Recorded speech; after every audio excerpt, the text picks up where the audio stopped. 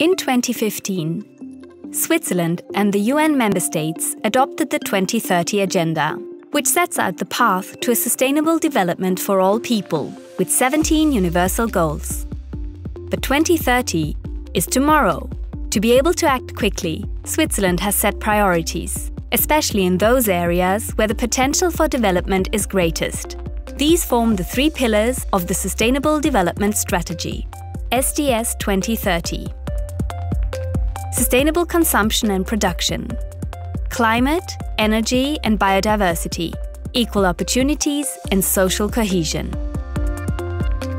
The focus is on different fields of action. For example, securing prosperity and well-being by conserving natural resources,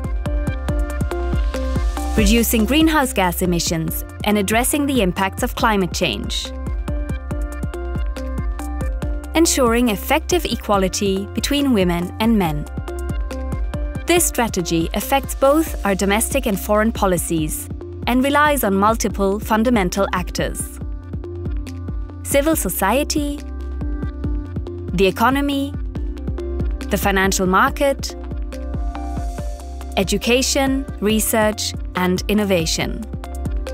These actors, as well as the cantons and municipalities, play an important role alongside the federal government.